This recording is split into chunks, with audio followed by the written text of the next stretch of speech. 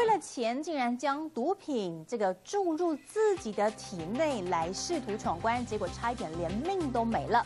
台北市警方接获线报，逮捕到两名才二十岁出头的运毒男子。那么他们呢发现到这毒品球呢，竟然就是直接在其中一名男子的体内破裂，高浓度的毒品不断的被他吸收，情况非常的危急。警方是立刻将他送医开刀急救，才捡回一命。当药推进去。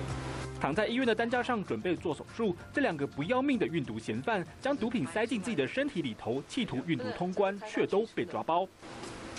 原来，远警接获线报，锁定这两名男子，趁他们躲在汽车旅馆时一网打尽。其中一名嫌犯因为毒品在体内爆裂，差点丢掉小命。该姓嫌犯他的毒品已经渗透到大肠部分，生命一日一一度啊陷入垂危。一颗颗海洛因毒品球都是嫌犯动完手术从体内取出的，两个人藏了将近六十颗。他们为了钱，以一人八万的代价帮贩毒集团运毒。不过，集团看两个二十出头的男子没有经验，还私扣他们两万块。